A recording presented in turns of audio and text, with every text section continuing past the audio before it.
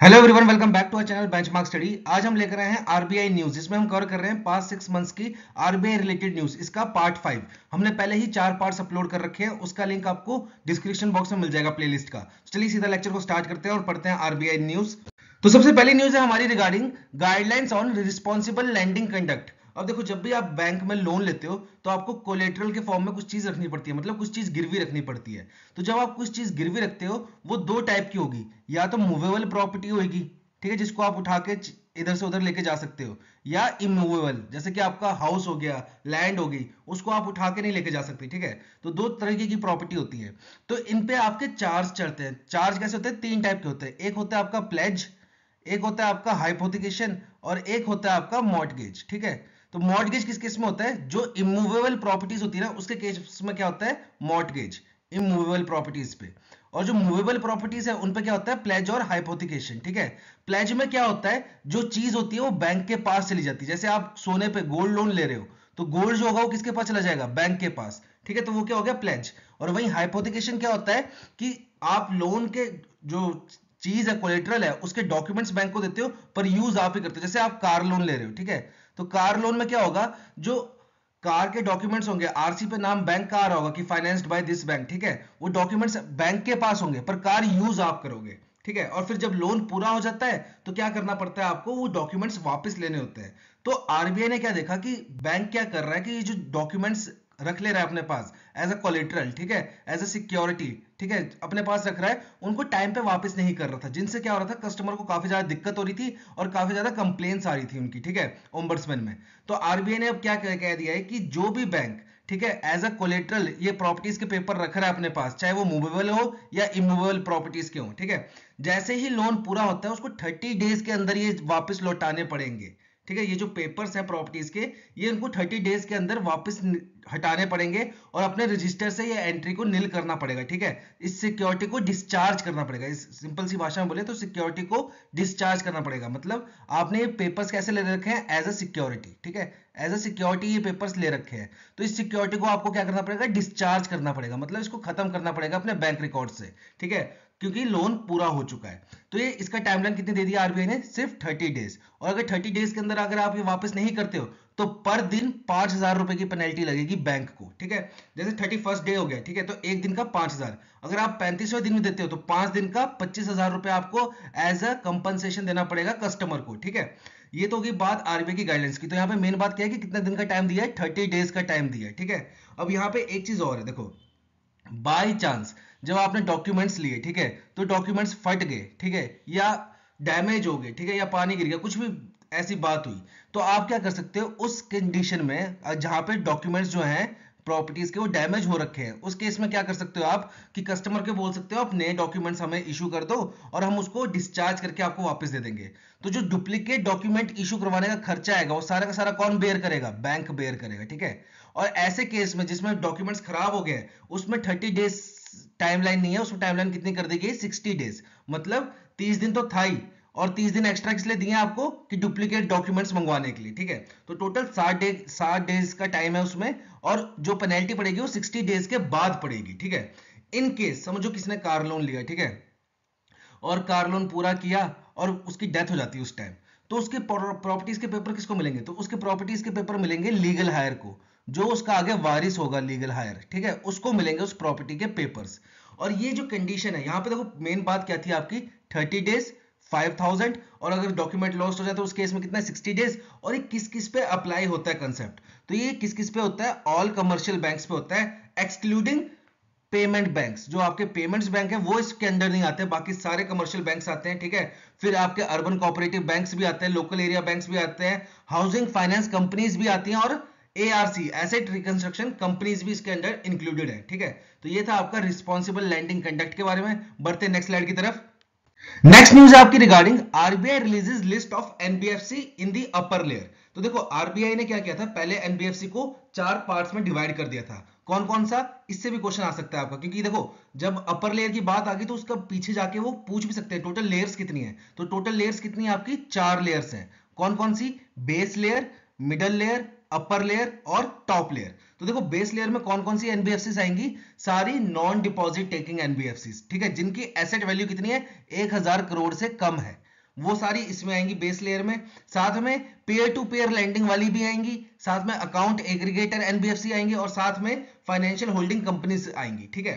ये आएँगी आपकी बेस लेयर में। तो बेस लेयर में बेसिक कौन सी आएँगी? सबसे सबसे सिंपल सी बात याद रखो, एक वो कंपनीज़ आएँगी एनबीएफसी जिनकी एसेट वैल्यू जो है, वो एक हज़ार करोड़ से कम है। एक हज़ार करोड़ से कम है, और साथ में साथ वो क्या है?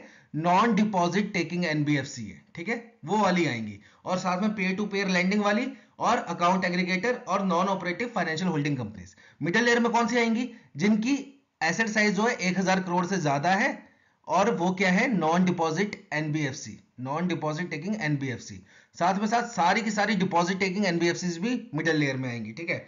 फिर हाउसिंग फाइनेंस कंपनीज़ भी आएँगी इसमें, ठीक है? फिर अपर लेयर में कौन सी आएँगी? अपर लेयर में देखो, इसने बोला है कि हमने कुछ रूल्स एंड रेगुलेशन बनाए हैं, उसके अकॉर्डिंग जो चीज़ें मैच करेंगी, वो इसमें अपर लेयर में आएँगी, ठीक है? एक तो कंडीशन ये है कि जो इन्होंने रूल्स एंड रेगुलेशंस बनाए हैं, उसको जो मैच करेगी, उस क्राइटेरिया को जो मैच करेगी, वो आएगी अपर लेयर में। साथ ही साथ इन्होंने कहा है कि जिनकी एसेट साइज़ ठीक है एनबीएफसी जितनी भी एनबीएफसी है, उनमें से जिसकी एसेट साइज़ टॉप टेन है, ठीक है, जिनके एसेट जो है, वो टॉप टेन लिस्ट में आ रहे हैं तो वो भी इस अपर लेयर में आएँगी, ठीक है? तो इसमें देखो दो पैरामीटर्स हैं। एक कि जो हमने आरबीआई ने जो रूल्स एंड रेगुलेशन बनाए ठीक है क्राइटेरिया करने के, उसको जो मैच कर रहा है, वो तो आएँगी अपर लेयर में, ठीक है? साथ ही साथ top ten NBFC top ten NBFC किसके ऊपर? एसिड साइज़ के ऊपर।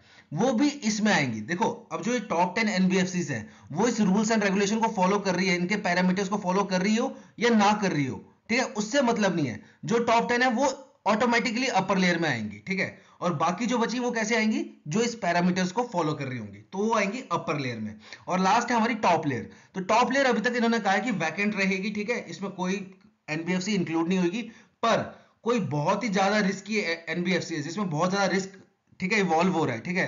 और जिसमें बहुत ज़्यादा आगे फ्यूचर में रिस्क दिख रहा है, ठीक है? तो उसको हम कंसिडर कर सकते हैं टॉप लेयर में डालने की। वरना टॉप लेयर हमारा क्या रहेगा ज़्यादातर? एमटी ही रहेगा, ठीक है? तो ये था क्राइटेरिया एनबीएफसी का आरबीआई ने जो पहले रिलीज़ किया था 2021 में, ठीक है? अब देखो एनबीएफसी होता क्या है? एनबीएफसी बेसिकली एक तरीके से शेडो बैंकिंग होती है। मतलब जो बैंक की तरह ही काम कर रहा होता है, ठीक है? एनबीएफसी एक ऐसी कंपनी है जो बैंक की तरह ही काम कर रहा होता है। अब यहाँ पे देखो, एक मेजर डिफरेंस क्या होता है? जो बैंक्स होते हैं, उसमें एनपीए कितने दिन बाद होता है? अगर कोई लोन ठीक है? और उसकी पेमेंट अगर 90 दिन तक नहीं होती है तो वो किसमें कंसिडर होता है? एनपीए में। पर एनबीएफसी में क्या है? एनबीएफसी में कहा गया है कि भाई, जो लोन की पेमेंट 180 डेज़ तक नहीं हो रही है, उसको कंसिडर किया जाएगा एनपीए ठीक है? अब यहाँ पे एक चीज़ और बोली आरबीआई ने कि देखो बैंक्स का क्राइटेरिया है 90 आपका 180 तो इसको आपको चेंज करना पड़ेगा। तो आरबीआई ने क्या बोला है कि 2024 तक, ठीक है? अप्रैल 2024 तक आपको ये 180 डेज़ का क्राइटेरिया कहाँ तक लाना पड़ेगा? 150 तक। फिर 2025 तक आपको कितना लाना पड़ेगा ये? 120 डेज़ पे। और 2026 तक आपका भी क्राइटेरिया क्या हो जाना चाहिए? 90 डेज़ वाला एनपीए के लिए, ठीक है? तो यहाँ से भी क्वेश्चन बन सकता है अगर चाहे तो ठीक है? पर मेन बात क्या है आपकी? कि टोटल कितनी एनबीएफसी को अपर लेयर में डाला गया तो टोटल आपकी 15 एनबीएफसी को अपर लेयर में डाला है, ठीक है? तो ये तो बन गया आपका बेसिक क्वेश्चन पर अगर आपकी किस्मत खराब हो और क्वेश्चन को टफ करना चाहे तो वो क्या करेगा? कोई पाँच के नाम दे देगा आपको और बोलेगा, इनमें से कौन सा एनबीएफसी अपर लेयर में नहीं आता? तो वहाँ पे दिक्कत हो सकती है। तो एक बारी देखो, मैं तो चाहूँगा आपको एक बारी बस इनको गो थ्रू कर लेना। याद देखो टाइम कम है, इतने पंद्रह के पंद्रह याद करना मुश्किल हो जाएगा थोड़ा। एक बारी गो थ्रू हो जाना, क्योंकि एक बारी गो थ्रू हो जाओगे तो आपको ऑप्शन को छांटने में आसानी मिलती है, ठीक है? तो टोटल कितनी एनबीएफसी को डाला गया अपर लेयर में? पंद्रह, ठीक है? टोटल लेयर्स कितनी है? चार। ठीक है कौन कौन सी बेस मिडल अपर और टॉप तो वैकेंट कौन सी लेयर रहती है हमारी? टॉप लेयर वैकेंट रहती है, ठीक है? नॉन डिपॉजिट एनबीएफसी जिसका एसिड साइज़ एक हज़ार पचास करोड़ है, वो कौन सी लेयर में आएगी? तो वो आएगी आपकी मिडिल लेयर में। क्यों? मिडिल लेयर में कौन सी एनबीएफसी आती है? जो नॉन डिपॉजिट टेकिंग हो और जिनका एसिड साइज़ कितना हो? एक हज़ार करोड़ से ज़्यादा हो। वो आती है मिडिल में और एक हज़ार करोड़ से कम वाली किसमें आती है? बेस लेयर में। डिपॉजिट टेकिंग एनबीएफसी किसमें आती है? जिसका एसिड साइज़ हो 500 करोड़ वो आएगी आपकी मिडल लेयर में। क्यों? क्योंकि सारी की सारी डिपॉजिट टेकिंग एनबीएफसी किसमें आती है? आपकी मिडल लेयर में, ठीक है? अपर लेयर का डिसीज़न कौन करता है? आरबीआई करता है। क्यों? क्योंकि उसने अपने रूल्स एंड पैरामीटर्स बना रखे हैं। उसको जो जस्टिफाई करेगा, वो आएगा अपर लेयर में। और टॉप टेन एनबीएफसी जिसका एसिड साइज़ टॉप टेन में आता है, ठीक है? जिसका एसिड साइज़ बाकी सभी एनबीएफसी से ज़्यादा है। तो जो टॉप टेन एनबीएफसी होंगी अकॉर्डिंग टू देयर एसिड्स वो भी किसमें आएँगी? अपर लेयर में, ठीक है? तो बढ़ते नेक्स्ट न्यूज़ की तरफ़। नेक्स्ट न्यूज़ है हमारी regarding RBI issues new prudential regulation for AIFI अब यहाँ पे मेन क्वेश्चन बनता है आपका कि एआईएफआई की फुल फॉर्म क्या है? तो एआईएफआई की फुल फॉर्म है ऑल इंडिया फाइनेंशियल इंस्टीट्यूशंस दूसरा क्वेश्चन बनता है कि टोटल इंडिया में कितने ए एआईएफआईज हैं? तो टोटल इंडिया में कितने हैं? पाँच। कौन कौन से हैं? EXIM bank NABARD NaBFID national housing bank और सिडबी ये पाँच आपके हैं ऑल इंडिया फाइनेंशियल इंस्टीट्यूशंस ठीक है? अब यहाँ पे बोला क्या गया है कि आरबीआई ने बोला है कि इन पाँचों को भी, जो हमारे ए आई एफ़ हैं, इन सबको क्या करना पड़ेगा अब? बैसल थ्री नॉर्म्स जो हैं बैसल थ्री नॉर्म्स जो है, उसकी कैपिटल रिक्वायरमेंट जो है, उसको मैच करना पड़ेगा। इन शॉर्ट इनको भी सी मेंटेन करना पड़ेगा, ठीक है?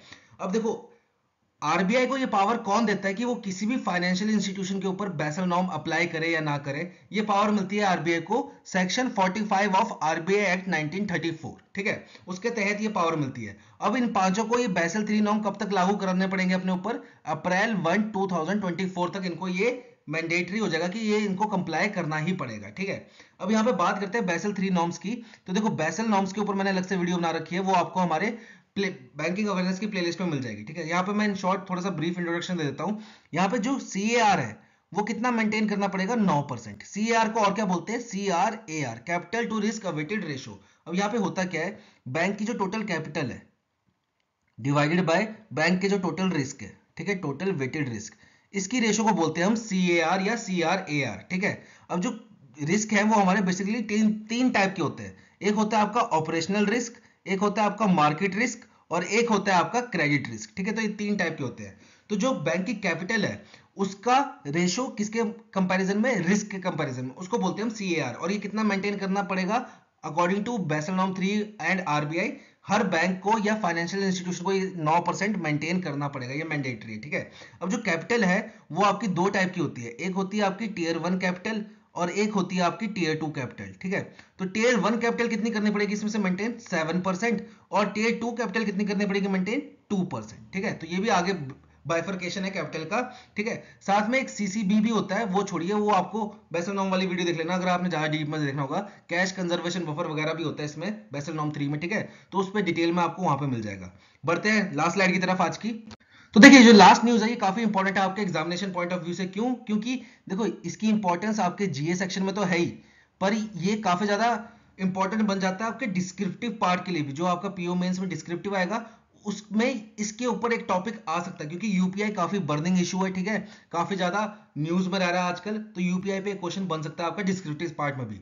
तो आरबीआई ने क्या किया है? आरबीआई ने प्री सैंक्शन क्रेडिट लाइंस जो है, उसको अलाउ कर दिया है यूपीआई के थ्रू ठीक है? अब इसका मतलब क्या हुआ? देखो, जब भी हम यूपीआई गूगल पे वगैरह चलाते हैं फ़ोन पे वगैरह, कुछ भी, ठीक है?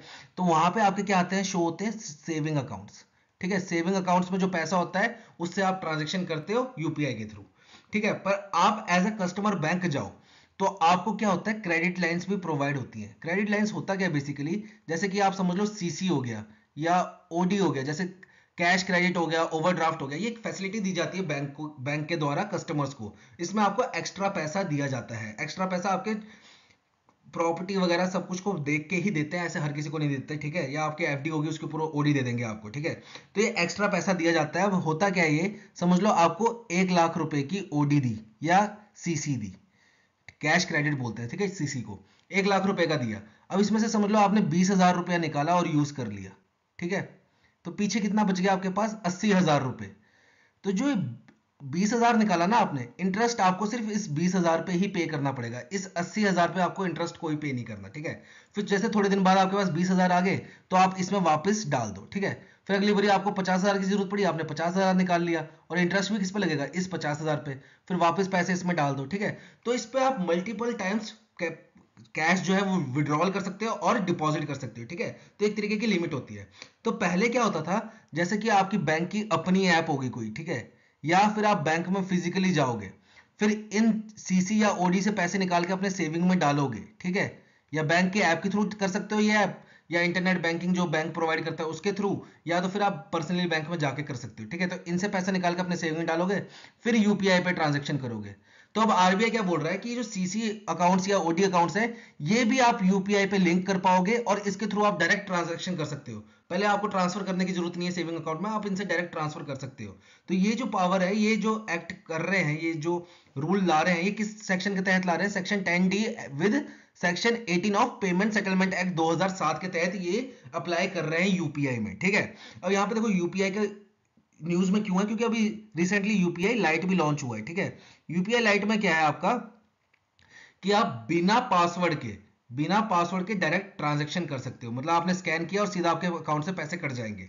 ठीक है? तो देखो यहाँ पे पासवर्ड का इन्वॉल्वमेंट नहीं है तो इसकी लिमिट कम रखी है। तो पहले इसकी लिमिट थी rupees two hundred per transaction पर अब इसको बढ़ा दिया, अब कितना कर दिया rupees five hundred per transaction ठीक है? और ये एक तरीके का वॉलेट होगा इसमें। पहले आपको वॉलेट में पैसे डालने पड़ेंगे, फिर उससे आप ट्रांजेक्शन करोगे। तो वॉलेट की लिमिट कितनी है? वॉलेट की लिमिट है रुपीज़ टू थाउज़ेंड मतलब एक बार आपने दो हज़ार रुपए इसमें डाल दिए, फिर उससे आप कितने भी ट्रांजेक्शन करते रहो, ठीक है? और मैक्सिमम कितनी कर पाओगे उसमें से पाँच सौ रुपए की।